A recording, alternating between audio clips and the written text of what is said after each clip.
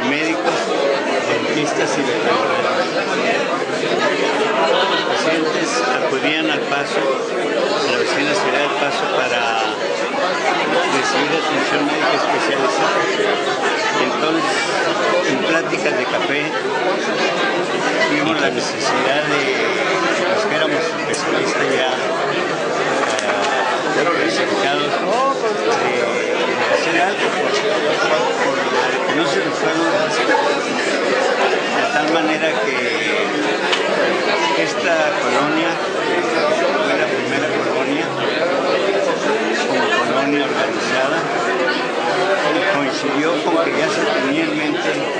hacer un, puente en donde la, la parte de los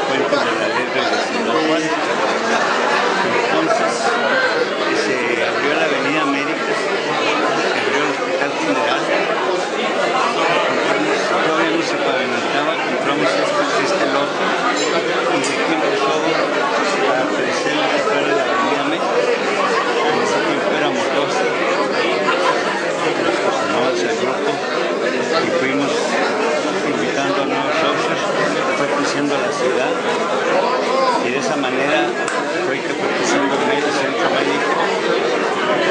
y adaptando nuevas uh, eh, técnicas